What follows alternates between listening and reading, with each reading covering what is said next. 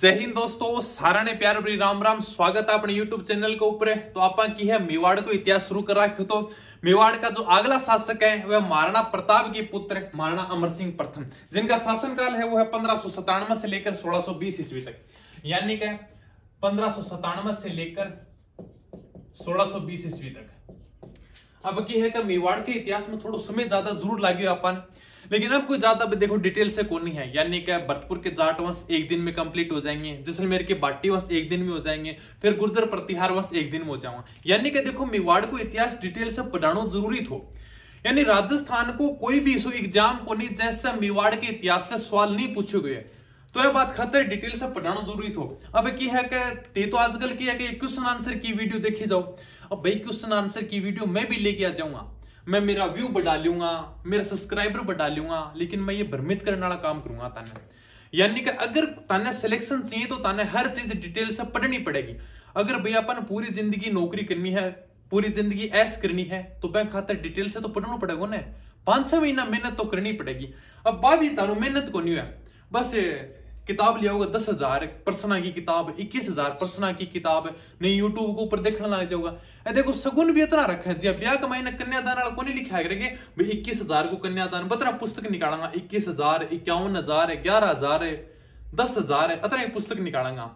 लेकिन कुल मिला की बात यह है, ये क्वेश्चन आंसर की वीडियो मत देखा करो चाहे यूट्यूब के ऊपर कोई भी पढ़ावे।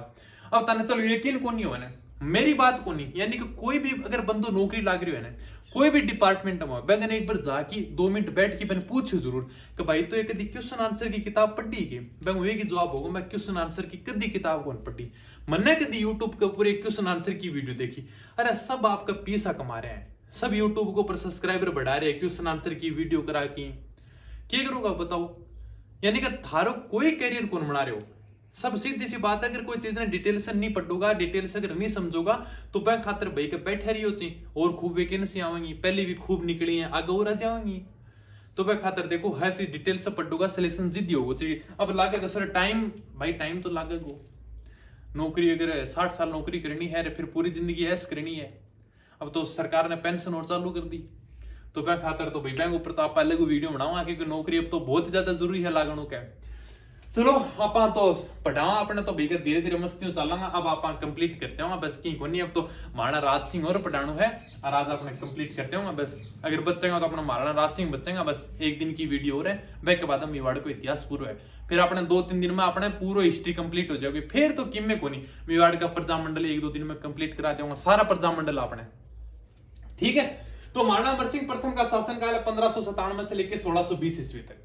यानी जब महाराणा प्रताप की मृत्यु हो जाती है पंद्रह सौ सतानवे ईस्वी में, उसके बाद में अकबर ने मेवाड़ के ऊपर फिर आक्रमण कराई लेकिन अमर सिंह ने दीनता स्वीकार नहीं की। उसके बाद में अकबर की भी जल्दी मृत्यु हो जाती है 1605 ईस्वी के अंदर। यानी कि अकबर की मृत्यु होगी 1605 ईस्वी के अंदर। उसके बाद में अगले मुगल बादशाह मरते हैं जहांगीर। जहांगीर। जहांगीर ने सोचा कि भाई जो काम मेरा पिता नहीं कर पाया, वो मैं करूँगा। यानी कि मैं मेवाड़ वालों से अधीनता स्वीकार करूँगा जहांगीर ने भी मेवाड़ के ऊपर खूब सारे आक्रमण किए लेकिन मेवाड़ वालों ने फिर दीनता स्वीकार नहीं की। अब यार जहांगीर ने भेजा अपने बेटे खुर्रम को यानी शाहजहां को भेजा इसको कहा गया तो, तो अपने मेवाड़ में डरे लगा लेगा शाहजहां को भेजा कजा मेवाड़ के ऊपर आक्रमण कर। शाहजहां ने भी खूब सारे आक्रमण किए यानी कि मेवाड़ की स्थिति जर्जर हो गई लेकिन फिर भी दीनता स्वीकार नहीं की। अब साथ ने पूछा, यार, ये मेवाड़ वाले कौन सी मिट्टी के बने हैं जो हमारी अधीनता स्वीकार नहीं करे? यानी राजपुतानी की सभी रियासतों ने हमारी अधीनता स्वीकार कर ली, मुगलों की अधीनता स्वीकार कर ली, लेकिन ये मेवाड़ वाले कौन सी मिट्टी के हैं जो हमारी अधीनता स्वीकार नहीं कर रहे? तब किसी ने इनको बताया कि मेवाड़ के महाराणा के साथ में उनकी जनता है। यानी कि जैसे गडरिया लुहार हैं, भील जनजाति है, जिन्होंने महाराणा प्रताप का खूब सारा सहयोग दिया था तो यहाँ की जो जनता है वो सीधी मेवाड़ के महाराणा के साथ में जुड़ी हुई है। तो आप उनकी जनता को नुकसान पहुंचाओ। अगर भगत को कष्ट होगा तो भगवान को तो दुख होगा ना। तो इसके लिए आप जनता को नुकसान पहुंचाओ, तब राजा को दुख होगा जाकर। तब शाहजहां ने मेवाड़ की जनता के साथ में अत्याचार किए। उनके घरों में आग लगा दी गई। मेवाड़ के जो अपने घर थे, उनमें आग लगा दी गई। महिलाओं, बच्चों के साथ में अमानवीय व्यवहार किए गए। तब जनता भाग कर गई। महाराणा अमर सिंह का बेटा था करण सिंह।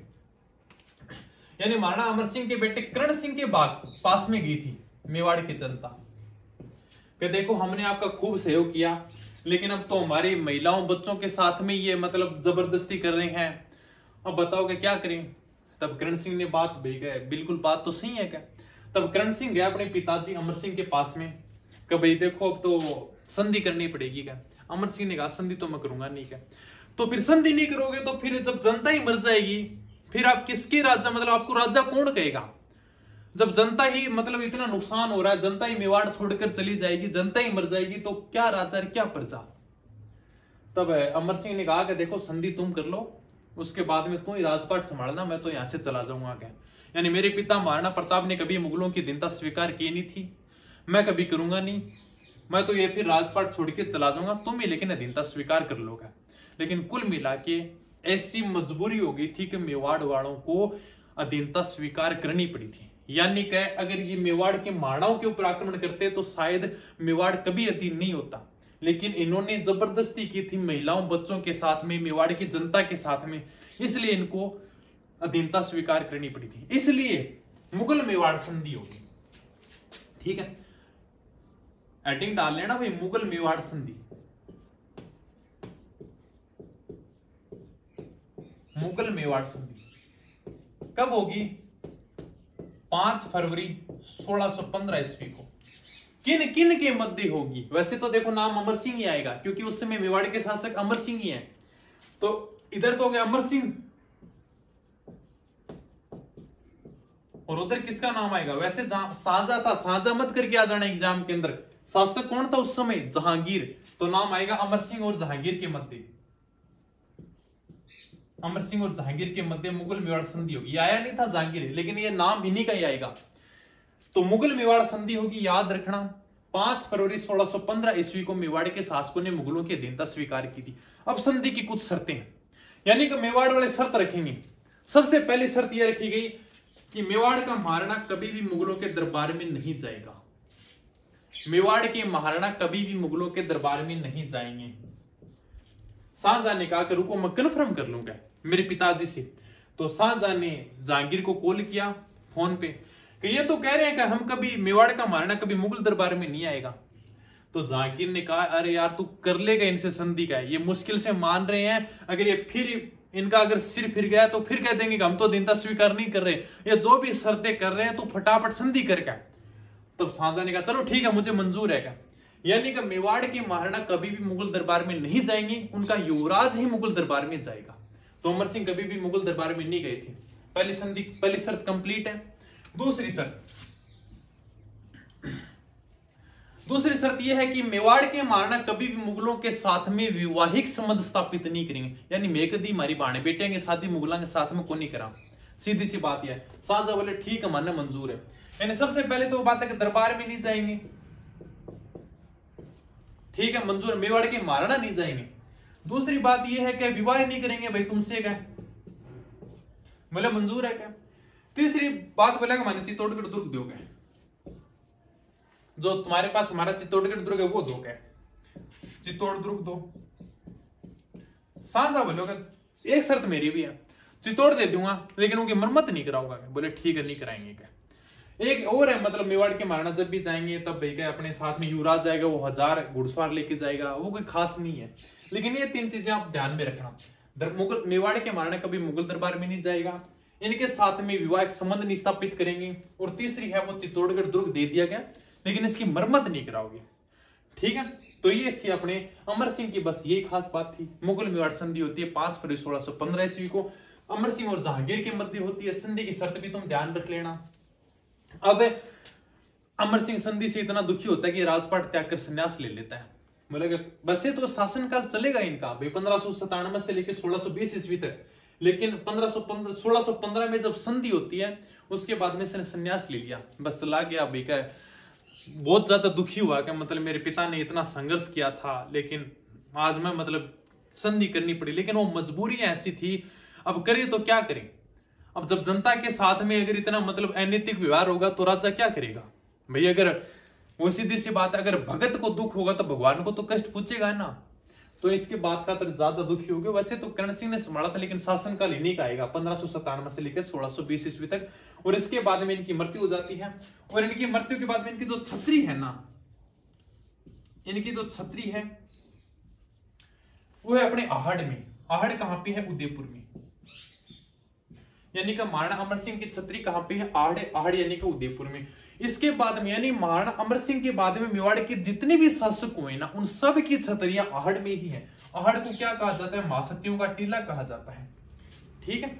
और सभ्यता भी है अपनी। तो सभ्यता पढ़ेंगे तब ज़्यादा विस्तार से चर्चा करेंगे। छतरी कहाँ पे है? आहड़ी।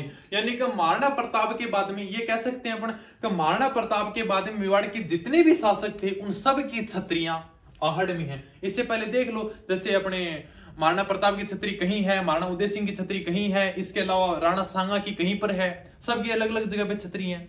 राणा सांगा की अपने मांडलगढ़ में है, ठीक है? इसके अलावा अपने महाराणा उदय सिंह की है, वो अपने गोकुंदा में है। तो इस प्रकार से सबकी अलग अलग छतरी थी। लेकिन इसके बाद में महाराणा प्रताप के बाद में जितने भी मेवाड़ के शासक हुए हैं, उन सब की छतरियाँ आहड़ में है। तो महाराणा अमर सिंह के बारे में इतनी खास बात है। इसके बाद में जो अगले मेवाड़ के शासक हैं, वो है महाराणा करण सिंह। तो यही करा दू क्या मैं? ज़्यादा कुछ है नहीं भाई ज़्यादा डिटेल से। इसके बाद में शासक बनेंगे करण सिंह, यानी 1620 से लेकर 1628 ईस्वी तक। यही बता देते हैं, चलो भाई। महाराणा करण सिंह, अगले मेवाड़ के शासक। शासनकाल है इनका 1620 से लेकर 1628 ईस्वी तक। ठीक है? मुगल दरबार में जाने वाला प्रथम मेवाड़ का युवराज कौन है? महाराणा करण सिंह। यानी कि अमर सिंह तो जाएगा नहीं। अमर सिंह के बाद में इनका बेटा करण सिंह मेवाड़ के शासक बने। तो सबसे पहली बात तो यही लिख लेना कि मुगल दरबार में जाने वाला मेवाड़ का प्रथम युवराज। मुगल दरबार में जाने वाला मेवाड़ का प्रथम युवराज। और जहांगीर ने इनको जाते ही पाँच हज़ार की जात और स्वार देकर अपना मनसबदार बनाया। यानी कि जाते ही जहांगीर ने जाते इनको क्या किया? पाँच हज़ार की जात एंड स्वार देकर अपना मनसबदार बनाया। सबसे बहुत ये जो जात, ये पाँच हज़ार की जात स्वार होती थी ना, ये बहुत बड़ी होती थी। पहले जैसे इस प्रकार से डिवाइड करते थे। भाई जैसे पाँच हज़ार की है मतलब फ़र्स्ट ग्रेड नौकरी है। चार हज़ार की है तो कोई सेकंड ग्रेड नौकरी है। फिर तीन हज़ार, ढाई हज़ार, ऐसे मतलब पहले ग्रेड बटी हुई होती थी। तो इसको तो जाते सबसे पहले फ़र्स्ट ग्रेड नौकरी दे दी जहांगीर ने। जहांगीर बड़ा खुश हुआ। कि मेवाड़ के युवराज आए हैं क्या मुगल दरबार में। तो जाते इनको पाँच हज़ार की जात स्वार दे दी और अपना मनसबदार बना लिया। ठीक है? एक बात तो ये ध्यान में रखना। और मुगल, अपने मुगल दरबार में जाने वाला मेवाड़ का प्रथम युवराज कौन था? महाराणा करण सिंह। दूसरी बात, एक अपने पिछोला जीत देखिए नहीं देखिए तो कभी देख के आना यार, बहुत ज़्यादा सुंदर है। अब नौकरी लग जाओ, उसके बाद जाना। अगर नौकरी लग गई और अगर पुलिस में नौकरी लग गई और आपको कभी खैरवाड़ा ट्रेनिंग सेंटर मिल गया यानी जो अभी बजट के अंदर घोषणा की है, वो उप तहसील बनेगी। यानी खैरवाड़ा के अंदर अपना ट्रेनिंग सेंटर है तो राजस्थान पुलिस का। तो खैरवाड़ा से 80 किलोमीटर की दूरी पर है अपने। खैरवाड़ा से 80 किलोमीटर की दूरी पर उदयपुर। तो आप मतलब आराम से शनिवार, रविवार को उदयपुर पूरा घूम सकते हो जाके। तो बढ़िया करना, अगर भैया खैरवाड़ा मिल जाए, एकदम शानदार ट्रेनिंग सेंटर है। ठीक है? तो अपने पिछोला झील है। पिछोला झील के अंदर ये दो है, दो महल बने हुए हैं। एक तो अपने जग मंदिर है। और एक है जग निवास। एक का तो नाम क्या है? इसका तो नाम है जग मंदिर। सबसे पहले क्या बनेगा? मंदिर बनेगा। भाई, सबसे पहले भगवान की जगह तो बनाओ। जग मंदिर। नाम है वैसे, दोनों सेम ही है। और ये है जग निवास। आप अगर जाके देखे ना, पिछोला झील में बने हुए हैं दोनों के दोनों। बहुत सुंदर है। एक तरफ़ तो है जग मंदिर, एक तरफ़ है जग निवास। ठीक है? इस जग मंदिर का निर्माण शुरू कराया था महाराणा कर्ण सिंह ने। यानी इसका निर्माण शुरू कराया था। ठीक है, निर्माण शुरू। निर्माण कराया था, शुरू कराया था। शुरू कराया था मतलब ज़्यादा डिटेल भैया ज़्यादा मनाया नहीं था पूरा। लेकिन इसका निर्माण पूरा किसने कराया था? इसका निर्माण पूरा कराया था जो अपने अगले मेवाड़ के शासक आ रहे हैं, जगत सिंह प्रथम। जिनका शासनकाल अट्ठाईस से बावन। जगत सिंह प्रथम। वैसे याद हो जाएगा इसका नाम जगत सिंह प्रथम ने करवाया था और इसका जगत सिंह सेकंड ने करवाया था। ठीक है? याद रह जाएगा। पिछोला झील में जग मंदिर बना हुआ है और जग निवास बना हुआ है। सबसे पहले मंदिर, यानी भगवान की पूजा सबसे पहले। तो जग मंदिर का निर्माण शुरू तो इसने करवाया था, करण सिंह ने, लेकिन पूरा किसने करवाया था? जगत सिंह प्रथम ने। अगर एग्ज़ाम में प्रश्न आ जाए, जग मंदिर का निर्माण किसने करवाया था तो जगत सिंह प्रथम होगा। यानी कि इसके नाम पर ही फिर जब जगत सिंह प्रथम मेवाड़ के शासक बनते हैं तो अपने नाम पर ही जगत सिंह प्रथम ने इसका नाम कर दिया जग मंदिर इसके बाद में जगत सिंह सेकंड बनते हैं तो इन्होंने कर दिया जग निवास याद रह जाओ, एकदम सिंपल से पहले मंदिर है, फिर निवास है। ये जगत सिंह फ़र्स्ट है, ये जगत सिंह सेकंड है। ये पर अपने पिछोला झील में अपने नटनी का चबूतरा बना हुआ है। और एक खास बात हो रही है, महाराणा करण सिंह ने 1622 ईस्वी के अंदर, कब सर? 1622 ईस्वी में शाहजहां को शरण दी थी। अभी बताता हूँ क्या बात थी। शाहजहां को कहाँ पर शरण दी थी? अरे भाई, कहाँ पर देगा? निर्माण किसका कराया था करण सिंह ने? किसका शुरू करा रहा है? जग मंदिर का करवा रहा है तो शरण यहीं पर देगा। यानी कि शाहजहां ने क्या किया कि जहांगीर के खिलाफ विद्रोह कर दिया। क्या मैं अब मुगल बादशाह बनूँगा? तब जहांगीर भागा, इसके पीछे तलवार लेकर। तो शाहजहां ने फ़ोन किया अपने करण सिंह को। अरे यार बात यह होगी कि पिताजी के साथ में तो लड़ाई होगी। अब रोटी मिलनी मुश्किल है क्या अब तू बता क्या जो बोले काम कर करके अपना अठा जग मंदिर में आ जाए अभी मैं निर्माण कार्य शुरू कराए हुए। एक कमरो है बढ़िया, ये अभी एक ही कमरो बनाए हुए मैं। लेकिन तेरे खातर बढ़िया एक कमरो दे दूँगा, बेड बाड लगवा दूँगा, आराम से टीवी लगा दूँगा, फ़िल्म देखी जाइएगा ठीक है? तो मैं बात खातर आ जाएगा तू अपने। तो कहते हैं कि शाहजहां को शरण दी थी अपने जग मंदिर में। सोलह सौ बाईस ईस्वी के अंदर आया था। बस इतनी है भाई। करण सिंह की इसके अलावा कोई खास बात नहीं है। अगले जो अपने मेवाड़ के शासक हैं, वो है जगत सिंह प्रथम। करा साहब मिटावा, जगत सिंह प्रथम पढ़ना। ठीक है, भाई, आपने बस इतिहास एकदम आराम तो मस्ती हो चलना एकदम टेंशन माइंड मतलब टेंशन मत लो दिमाग का महीने एकदम टेंशन फ्री रहो। सारो पढ़ांगा आप, ठीक है? अब पढ़ांगा भाई जगत सिंह प्रथम। अब साफ़ करना अगले जो अपने मेवाड़ के शासक हैं, वो है महाराणा जगत सिंह प्रथम। यानी के महाराणा जगत सिंह प्रथम। प्रथम अभी थोड़ा ध्यान में रखना। ज़्यादा इनका वो कोई दो तीन बातें बस ध्यान में रखने वाली। शासनकाल है 1628 से लेकर सोलह ईस्वी तक। इसके बाद में महाराणा राज सिंह आ जाएँगे, जिनका शासनकाल सोलह से सोलह ईस्वी है। अब देखो महाराणा जगत सिंह ने एक बात तो मैंने बताई दी, कि यानी इन्होंने पिछोला जेल में अपने जग मंदिर का निर्माण पूरा करवाया था। ठीक है? जग मंदिर का निर्माण करवाया। जग मंदिर का निर्माण करवाया। ठीक है? एक बात तो ये होगी भाई। दूसरी बात इनकी। दूसरी बात क्या है कि भाई महाराणा जगत सिंह को एक बार सपना आता है। सपने में इनको भगवान विष्णु दिखते हैं। भगवान विष्णु कहते हैं, यार, जगत सिंह मेरे लिए एक मंदिर का निर्माण करवा के और मंदिर होना चाहिए पंचायतन शैली में। तब जगत सिंह बोला, ठीक है बना दूँगा क्या? सुबह इनको जब उठते हैं, तब दरबारियों को बुलाते हैं। कि यार, ऐसे रात में भगवान विष्णु आए थे और बोले कि, भाई क्या मेरे मंदिर का निर्माण करवा। तब दरबारियों ने कहा कि करवाई दो क्या का? क्या पता कि अगर भाई भगवान विष्णु आए हैं तो कहते हैं कि भाई का सुबह का सपना वो सच होता है। तो आप मंदिर का निर्माण करवा दो। तो इस बात के लिए इन्होंने एक मंदिर का निर्माण कराया था और उस मंदिर का नाम था जगदीश मंदिर। जगदीश मंदिर। जगदीश किसको कहते हैं? अरे जगदीश भगवान विष्णु को कहते हैं भाई। अपन आरती बोलते हैं ना, ओम जय जगदीश सहरे वो जगदीश मतलब भगवान विष्णु। तो जगदीश मंदिर या इसका दूसरा नाम है सपनों में बना मंदिर। इसलिए इसको कहते हैं सपनों में बना मंदिर। इसके मंदिर का निर्माण कराया था। उदयपुर चौक में है आराम से जब भी आप उदयपुर जाओ, देख लेना।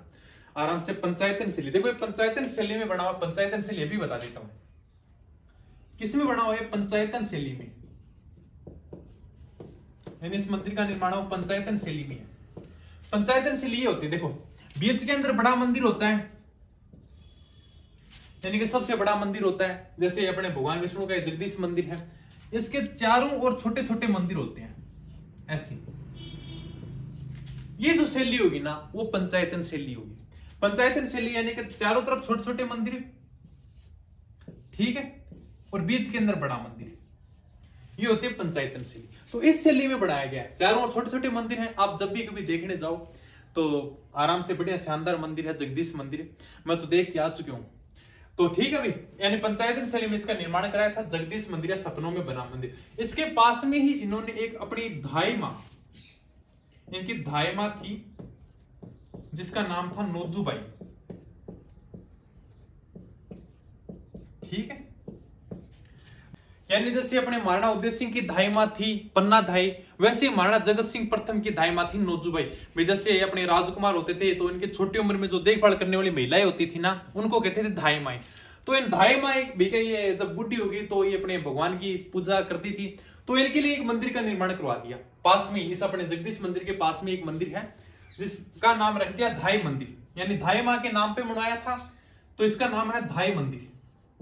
अगर पूछ भी ले भी कभी का दाई मंदिर कहाँ पे है तो दाई मंदिर उदयपुर में है। किसने निर्माण कराया था? महाराणा जगत सिंह प्रथम ने करवाया था अपनी धाई माई नोजूबाई के लिए। ठीक है, एक बात और है बस। ये थोड़े दान वीरता और वाक कटुता के लिए प्रसिद्ध है। यानी कि दान देने में बहुत ही माहिर थे। थोड़ा सा ध्यान रखना, कभी पूछ भी लिया। मेवाड़ के कौन से शासक है जो दान वीरता और वाक कटुता के लिए प्रसिद्ध है? वाक कटुता बताता हूँ। दान वीरता व वाक कटुता के लिए। जैसे अपने जयपुर के शासक स्वाई जय सिंह वाकटुता के लिए प्रसिद्ध है। वाकटुता नहीं, बोलने के अंदर माहिर यानी कोई बंदा बोलने में माहिर होता है ना, उसको कहते हैं वाकटुता यानी कि बोलने में बहुत ही ज़्यादा एक्सपर्ट है, बोलने में माहिर है। तो उसको कहते हैं वाकटुता तो दान वीरता और वाकटुता के लिए प्रसिद्ध है अपने मेवाड़ के महाराणा जगत सिंह प्रथम। तो भाई, अब जैसे अगर महाराणा राज सिंह पढ़े ना तो महाराणा राज सिंह थोड़ा बढ़िया शासक है। पढ़ाने में मज़ा आएगा। क्योंकि क्या है कि मेवाड़ वाले शासक क्या है कि ज़्यादा समय तक युद्ध बिना रह नहीं सकते थे। इनके हाथों में खुजली शुरू हो जाती थी। भाई अब क्या हुआ, क्या काफ़ी टाइम हो गया, युद्ध किया नहीं। तो महाराणा राज सिंह ने औरंगज़ेब से पंगा ले लिया। यानी कि अब तो मैं लड़ाई करूँगा, क्या? क्या है कि भाई, इनके मतलब तलवार ठंडी पड़ गई थी। तब महाराणा राज सिंह ने कहा कि नहीं यार, काफ़ी समय हो गया, युद्ध करना है, क्या? तो थोड़ी बातें बताएँगे महाराणा राज सिंह की। यानी मेवाड़ वाले युद्ध के बिना रह नहीं सकते थे तो महाराणा राज सिंह ने औरंगज़ेब से पंगा लिया था। अब महाराणा राज सिंह पढ़ाए तो थोड़ा टाइम लगेगा। अपने अगर डिटेल से पढ़े तो। इसके लिए कल ये बस, कल अपने मेवाड़ का इतिहास कंप्लीट हो जाएगी, छोटा सा वीडियो और बनेगा।